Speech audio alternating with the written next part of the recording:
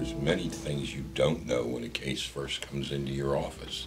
For instance, in a drunk driving case, they come in and they give you three or four motor vehicle tickets, maybe a small criminal charge that goes with it, and they tell you the story about how they were stopped, what the police officer made them do, and they say, What do you think? Well, you don't really know what to say because you've only heard their side of the story. My answer usually is we need to see what the other side has to say. We need to see what the proofs are against you before I can formulate a better opinion.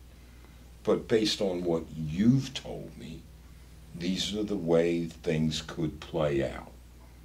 Now, that could change once we get the police reports.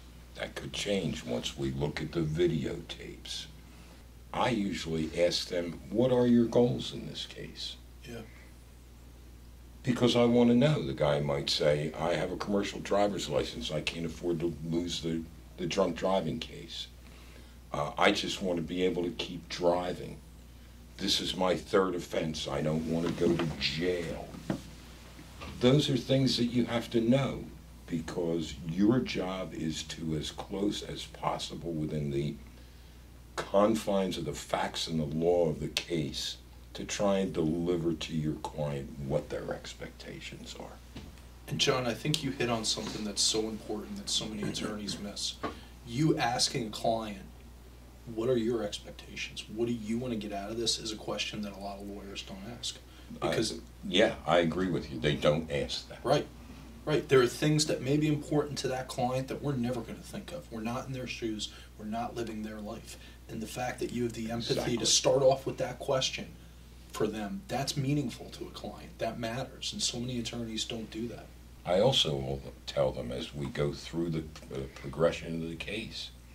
These are the things I see, the issues that I've seen. This is what we've developed from the facts in our experts' report.